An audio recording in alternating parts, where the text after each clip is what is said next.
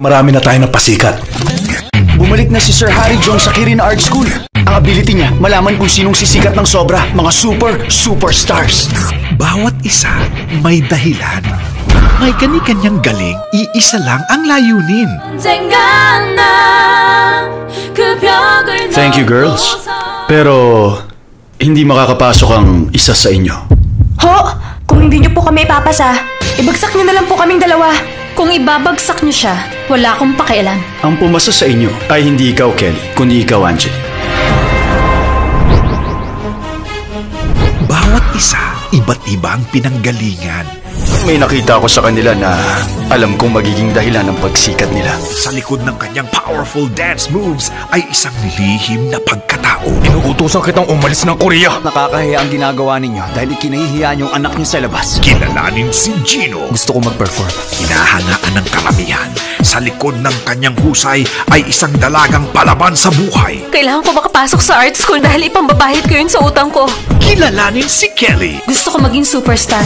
Ang simpleng probinsyano may itinatago palang talento. Gusto mo bang maging singer? Maging tulad ng iyong ama? May iba akong rason. Dahil ba, dun sa babaeng nakituloy sa atin? Kilalanin si Marco. Hindi gustong sumikat ay nagiging sikat. Yung mga tulad lang ni Kelly ang bagay sa ganun. Hindi siya nakapasa sa audition namin! Kilalanin si Angeli. Kahit naiiba, hindi siya mapipigilan pagdating sa pagkanta. Gusto ko pong pumayat. Determinado po talaga ako. Kilalanin si Jello. Sa kabila ng kanyang cool image, isa siyang binatang mapagmahal. I go for it kapag interesting. Kilalanin si Jason. Hanggang saan ang kaya nilang gawin, matupad lang ang kanilang mga pangarap. This summer, get ready for the most successful Korean drama of 2011. Magiging isa akong napakagaling na singer para talunin ka. Dahil ba kay Kelly? Starring Korean pop stars Nakaka-excite. Sino kaya mananalo? There are no boundaries.